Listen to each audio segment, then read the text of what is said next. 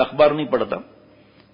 बहुत बरस पहले अखबार इस्लाम अखबार में मैंने एक खबर पढ़ी कि एक इंजीनियर वापडा का, उसको बड़े सरदार ने सड़क के बीच में लाया, हराम न लेने पर मार्केट में, और का कुत्ते की तरह चलो और भोंको भी तुम, वरना तुम्हारा घर, तुम्हारी बहु बेटियाँ, उसकी आसमान पर जाएगी, नहीं जाएगी। अब तक याद आता है, रोना आ जाता है, हम कितने गिर गए कि उस, ईमानदार को उसने ईमानदारी छोड़ी नहीं फिर।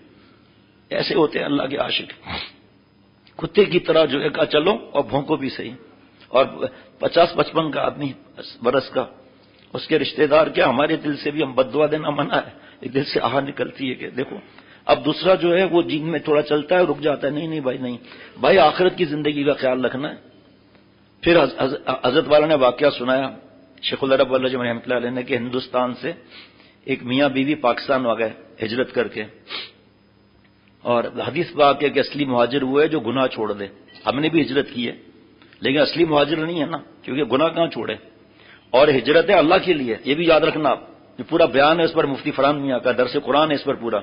अल्लाह करे छप भी जाए कि हिजरत माल कमाने के लिए नहीं है, हिजरत बड़ी पोस्टों के लिए नहीं है, हिजरत घबरा कर भागने का नाम नहीं है, हिजरत है अल्लाह के लिए।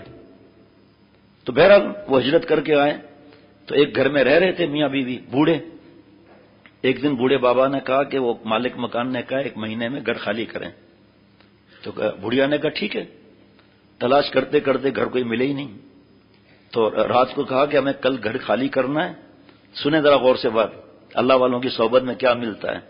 और सामान कितना होगा उनका? का सामान पैक करें। मैं फजर की नमाज़ के बाद आऊँगा और हमें घर खाली करना है। वादा हुआ है, शरीयत का हुक्म है ये। हमें घर नहीं मिल रहा। तो घर नहीं मिल रहा तो भाई घर खाली करना है। का सरताज रहेंगे, कहा हमारे तो यहाँ कोई है ही नहीं। कहा, फुटपाथ पे रख लेंगे। फजर के बाद नमाज़ पढ़ कर आए और फुटपाथ पे जाके सामान रख दिया और बैठ गए दोनों। कभी मैं किसी को कहता हूँ, पड़ोसी एक दो दिन के लिए जगह दें। वो मालिक मकान आ गया और गले लगाकर ऐसे हाथ जोड़ दिए, मुझे माफ़ कर दें। जितना आपको रहना है, आप रहने अचानक मेरे रब ने मेरे दिल में डाला कि इनको दुखाओ मत दिल का मुझे आप माफ़ कर दें आपको इतनी तकलीफ़ हुई। शेख पीने का इरादा तो करें और से कोथर से मंगा ली जाएगी। अभी एक प्लाट खाली है। उस पर जो है एक आदमी अपना घर बनाना चाहता है। वहाँ गाड़ियाँ खड़ी होती थी। आज सुबह मुझे उन्होंने बताया यहाँ आते हुए। तो बताया कि मैंने उनसे जाकर के भाई, मेहरबानी करके गाड़ी हटा लें और प्लाट शुरू करने वाला है। गाड़ी तो हम नहीं हटाएँगे। कहा, ये डॉक्यूमेंट से मेरा प्लाट है चौकिंग भी कर ली है तो कहा, मैं तो नहीं उठाऊँगा क्या देखे तो सही अल्लाह को नाराज़ करने के लोग भांडे ढूंढते हैं।